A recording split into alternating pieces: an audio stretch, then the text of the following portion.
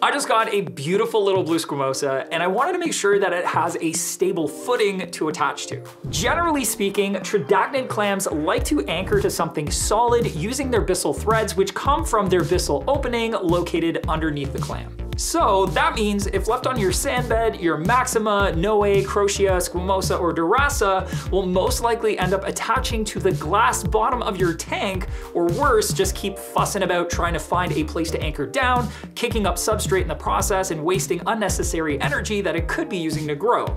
Now that doesn't mean you need to or should go put it up on your rockwork.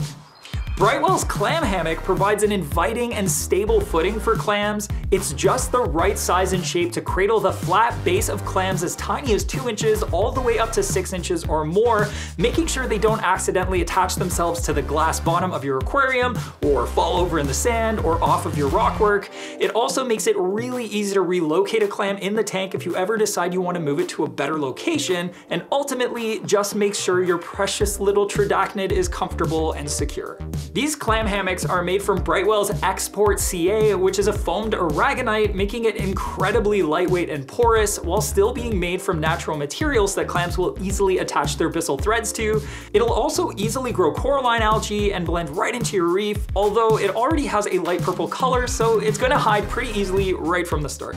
The shape, albeit quite simple, is actually really effective.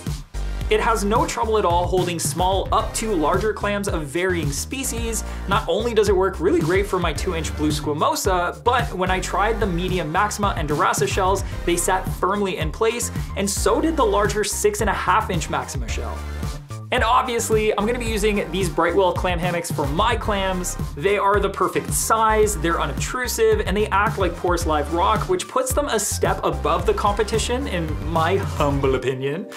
And if they also match your reefing mantra, you can pick them up for your clams by clicking right here.